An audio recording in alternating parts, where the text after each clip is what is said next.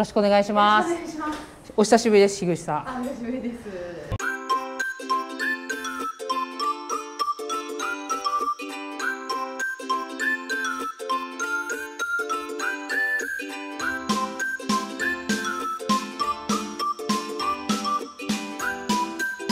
今日はとある撮影がこの後あるため髪の色を染めますどんな感じするかと言いますと BE:FIRST のマナトくんの髪色にしていただこうと思ってます。だけどきっとバイバイだけじゃ終わらない。私髪染めるのはい。20年ぶりです。む前のお店だった時に染めてるんですよ。半分赤半分ピンクですとんでもない色にしてますちょっとやっぱりあの BE:FIRST と仕事するということで気合い入れていこうってああのスタッフさんから誰からも言われてないんですけど自らやりますという気合い入れていかなきゃっていうのでよろしくお願いします、すいません朝から申し訳ないはい。よろしくお願いします髪の毛もう切ってくれてるんですもんね。はい。先週ねはい。何塗ってんですか？あ、これは、えー、保護クリームです。保護クリームはい。もうなんか20年前と変わってんでしょうねなんか痛くなるみたいなイメージでしたけどね昔は。はいもうビビってやってないですからそういうの今なんかは染めてるの流行ってますよね染めるの。結構もう割と皆さん染め。染めるんだは黒髪のがあれですか？い。まあ、あえてうん明るくして黒くする人もいます。えー、何が違うんですか？色が、うんなんでしょう。やっぱりダイレクトに透明感が出るっていうか。へえ同じ黒で。えー違いますね。そそれ何やってんですか？これは。何ですかそれ？これも頭皮の保護あ保護のスプレーで。えー、そんなあるんですか？そうです。私でも。あなるほどでも私ちょっとひよってはい。根元はちょっとはいなしにしてもらおうかなと思ってわかりました。すいませんちょっと怖くて42歳少し開けてるのもかっこいいです。えおはようございます。すいません。いつもいつもより早いでしょう。ごめんなさい。ありがとうございます。絶対手伝いに来た。すいません。ご夫婦で。すいません。いつも12時からなのに10時からやってもらって。すみません。本当ですか？すいません。でも早いじゃないですか。すいません。無理言っちゃって。なんかマナトくんなんか日に日によってっていうか出る番組によって色が違うから私はレイにあの雑誌の「レイン」に載ってたあの紫めっちゃかっこいいと思ってだけど淡いのもいいななんて思ったりわあすごい何これ色見本だ。わあすごいこれ。ちょっと見てくださいこれ。見えるかな？色見本。確かに。レイのマナト君はこういう色だった。こういう色。ほんでえっ、と踊なんか歌って踊る時はこここれとかこれ？これとかこれ？たまになんかこここここら辺の時ありますよね。こここら辺？へえ面白い。ドキドキします。いやもう全然この色は可愛いけどマナトのこの色は可愛いけど自分全然似合わなかったらどうしようってすげえ思ってるんですよね。ありがとうございます。荒竹さんです。旦那様です。樋口さんの。よろしくお願いします。すいませんご夫婦で。みんな派手でしたねあの時は。本当ですよ。ねピンピンクと赤だよ。ショッキングピンクと赤だよ。やばいっしょ若い頃はねやるよね。いやすごかったですね20年前のね。リリバイバルしてる感じですよ今。ああそうですか。そのもう20年うん。ちょっと前ですよね。そうですね212年前ぐらい、そう。うん、私18ぐらいの時。そうあの時結構13年23皆さんやっぱりブリーチして色入れて、うん。ですげえ人いたもんな。前のお店そういう人ばっかりだったじゃないはいそんなお店でしたね。お客さんのスタッフもそうですね。ええ。派手派手でしたよね。でもなんか時代も前原宿もそんなうん人たちもいっぱいでしたよいっぱいでしたね。厚底みたいなの履いてね。いろんな人たちが、あのギャルもいましたし、そうギャルじゃない厚底もいましたもんね。すごいサイバーみたいな人もね。サイバーいたな。サイバーのお店なくなっちゃいましたね今も。あそうです。その象徴として、うんジッパーってあったじゃないですか。ジッパーはい。あれが最近復活したんですよ。ずっと休館してたんですよね。本当だ最近見なかったですね。そう。でなんかどどのぐらいなかったのかが記憶なかったんですけうど、んうん。先月出たの。あれ？もうジッパーなんかもうずっと買ってたよ。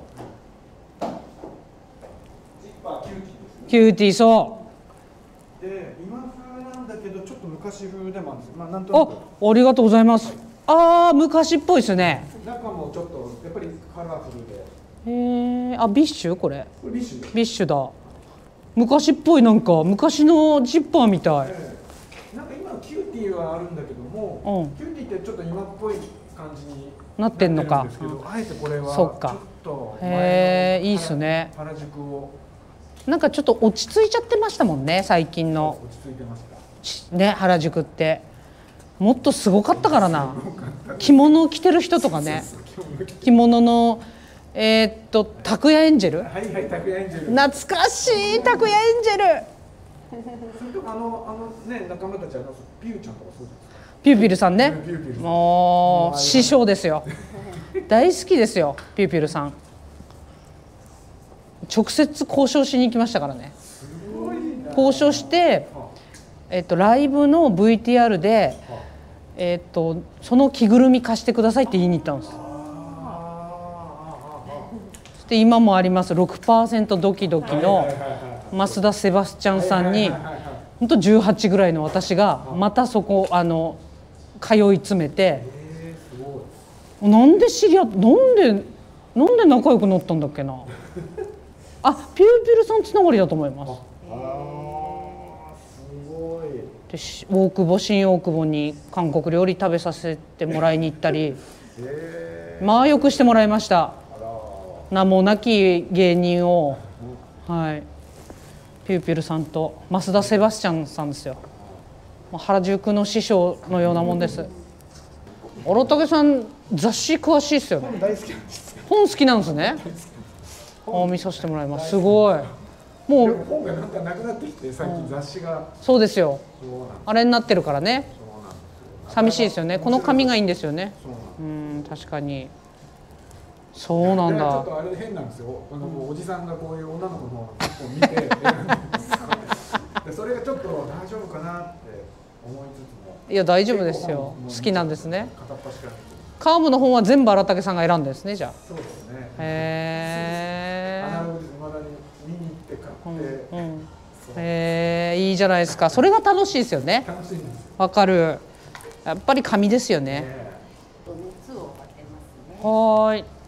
うわなんだこれ。お願いします。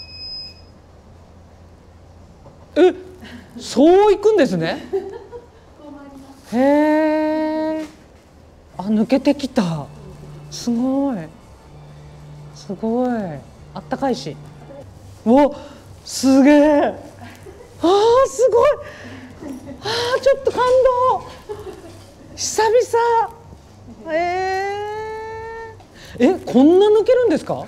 えすげえ。この色がみんな衝撃で。衝撃です。ええあの大丈夫かなってお思います。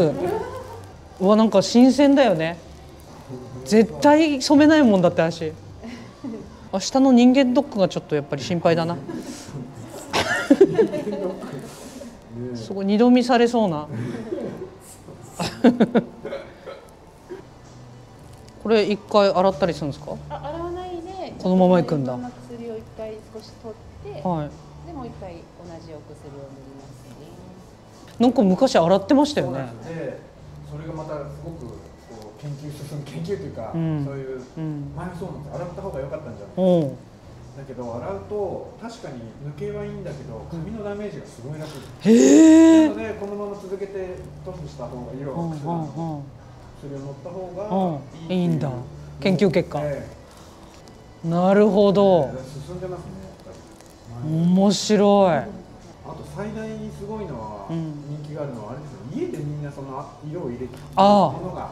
うん。家でトリートメントがあるんですよどうしてもこれ抜けてきちゃうじゃないですか色抜けますね。うで前はそれを美容院でまたまたもう一回って入れてたのが、うん。その昔は、んうん。今ってトリートメントで色を入れられるんですよ自分で。ええカラーバターっていうのがあるんですよ。カラーバター？すごいですよネットで調べるとこれどころじゃないですよ。もうぐわーって出てきますよ色味の方が色見本が？でブリーチしてる人は、それを家でやるとうん。色が復活するんですよ、ええもう絵の具みたいにものすごい綺麗に？綺麗に入るすぐ落ちたりしないんですか？一回やって、まあ、色にもよるんですけどね。45日かけて何もしないと薄くなってくるんですよ。へえでいい色になってくんいい色だ。進化してますそれねができたからあのブリーチする人がまた増えた増えたんですね。はすごいですいそうなんだ。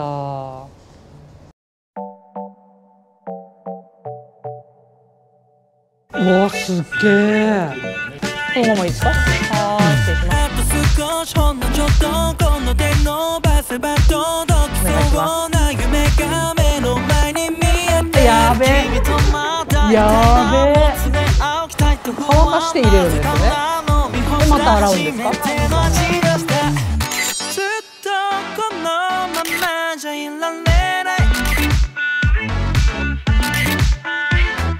君がくれた憧れのかけらことしたとうございます。完成でだけだって目と目があって言葉が詰まって何ためらってんのってね。君の瞳がとから答えたくて One two step 振り絞って歌う Alright silence baby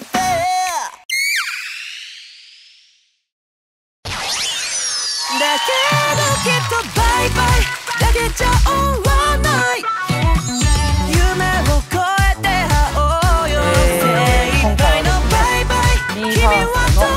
まないト君になりました。させていただきました。鈴木さんありがとうございます。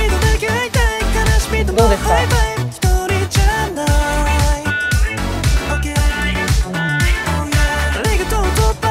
ママとでしょ？これどう考えても。すごいですよ。ありがとうございます。ぜひ皆さん、あのーこの髪型、えー、10、11、12 3時間でできます。ぜひマナト君になってみてはいかがでしょうか、えー、それでは、えー、森さん中大島でしたまたお願いします